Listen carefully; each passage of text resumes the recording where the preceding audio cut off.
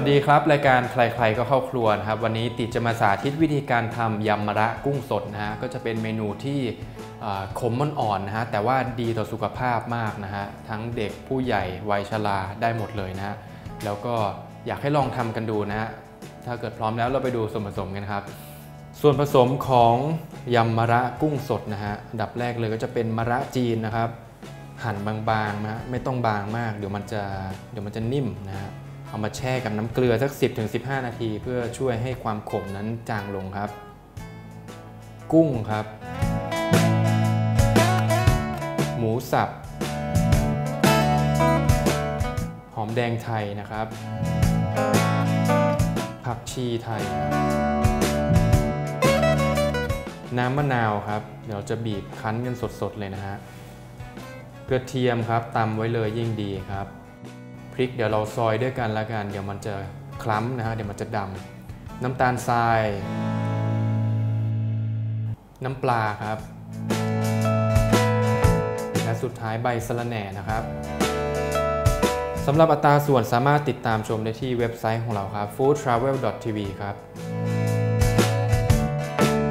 เอาละครับ เรามาเริ่มลงมือทำกันเลยนะครับ กับเมนูยำมะระจีนนะฮะกุ้งสด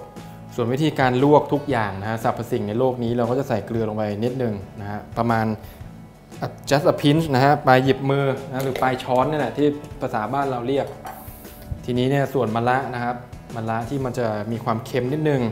เราซอยมันก่อน แล้วก็แช่ในน้ำเกลือสัก 10-15 นาทีครับ จากนั้นเราก็เอาลงไปต้มนะฮะอันดับแรกเลย แต่ถ้าเกิดกลัวทุกสิ่งทุกอย่างมันจะขมไปด้วยเนี่ย เราก็ต้มอย่างอื่นก่อนฮะง่ายมาก เลือกเอาอย่างใดอย่างหนึ่ง ซึ่งอย่างแรกก็คือหมูสับนั่นเอง เพราะว่ามันสุกง่ายนะครับ เราจะยียีๆเขานิดนึง ส่วนน้ำซุปที่เหลือนะฮะก็ตามาสายประจำของผมเลย ถ้าเกิดจะเก็บน้ำซุปนี่ไว้ไปทำพวกแกงจืดนะ ต้มยงต้มยำอะไรได้เหมือนกัน อันนี้เป็นสูตรแบบบ้านๆนะฮะไม่ต้องไปนั่งต้มน้ำสต๊อก หรือว่าไปต้องแบบใส่ไอ งไก่ทั้งหลายแหละเนาะเราก็ทำอย่างนี้แหละง่ายๆ แล้วระหว่างที่มันสุกไปสักพักนึงแล้วเนี่ยสัก 70%ก็ได้ เราก็ตามไปด้วยกุ้งเลยนะเพราะว่ากุ้งเนี่ยสุกง่ายสุกเร็ว แล้วพอขึ้นเนี่ยมันก็จะสุกพร้อมกันพอดีนะครับ ดูเอาว่าถ้ากุ้งสุกก็โอเคละเพราะว่าไอหมูสับนี่เราก็สุกไปเยอะแล้ว ซึ่งถ้าจะให้อร่อยนะครับ กุ้งนี่เราไม่ต้องไปสุกมากนั่นแหละประมาณนี้นะฮะ ให้แบบว่ามันยังใสๆข้างในอยู่ เพราะว่าเราไม่ได้ไปน็อกน้ำเย็น ระหว่างที่รอเนี่ยมันก็จะสุกไปเรื่อยๆครับ อร่อยอมแต่สำหรับทางบ้านที่ไม่ต้องการจะใช้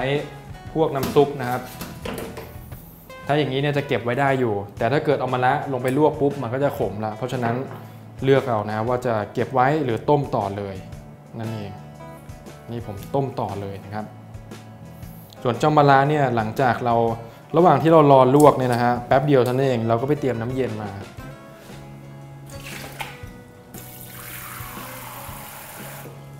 เพราะมันเป็นผักที่ต้อง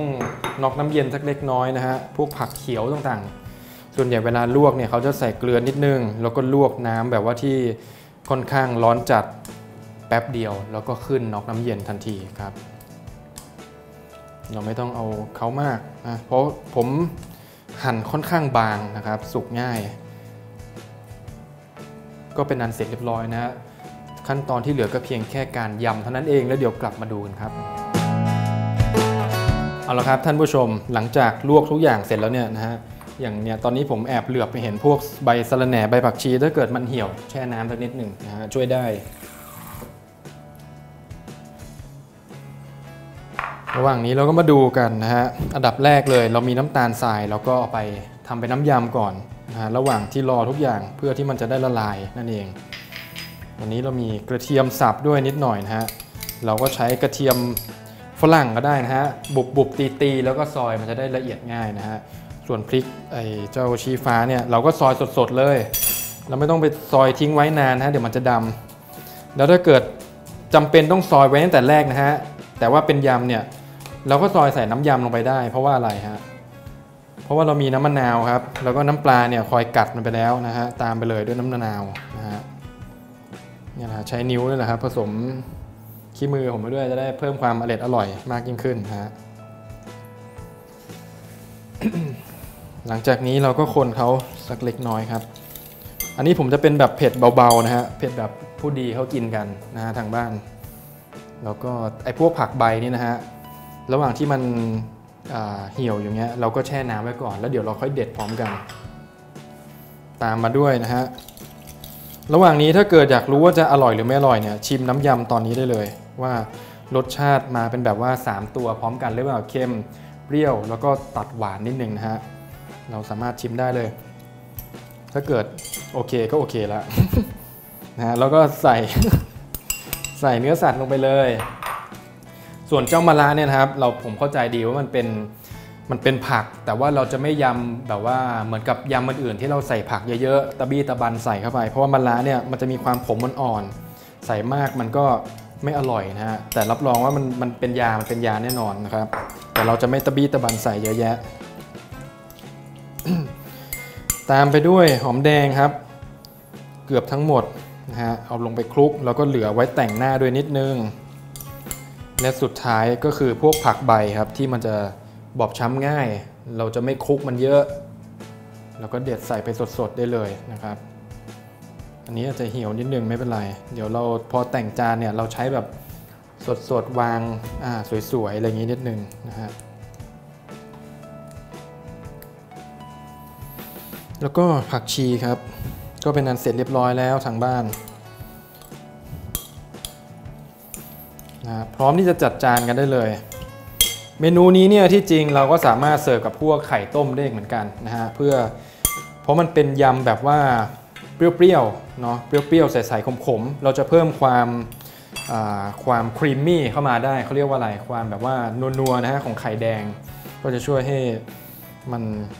ฟินขึ้นให้มันแบบว่าอร่อยมากยิ่งขึ้นนะครับ ผมจะไม่ ผมจะวางให้มันผิดแปลกจากชาวบ้านเขาหน่อย ก็คือวางแบบไม่ลงไปตรงกลางซะทีเดียวนะฮะ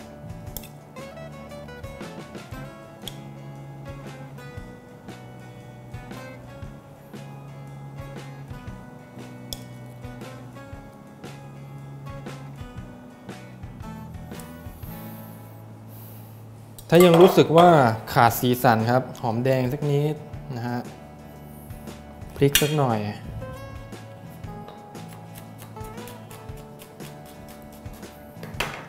ผักชีครับสาระแหน่ที่เราพูดถึงนะฮะก็เป็นนันเสร็จเรียบร้อยแล้วครับ ส่วนอันนี้เนี่ยเป็นมะนาวบีบเพิ่มก็สามารถวางไปได้เหมือนกันนะฮะ เอาละครับสำหรับอัตราส่วนนะครับ ก็สามารถติดตามชมได้ที่เว็บไซต์ของเรานะครับ foodtravel.tv ครับ วันนี้ต้องลาไปก่อนแล้ว สวัสดีครับ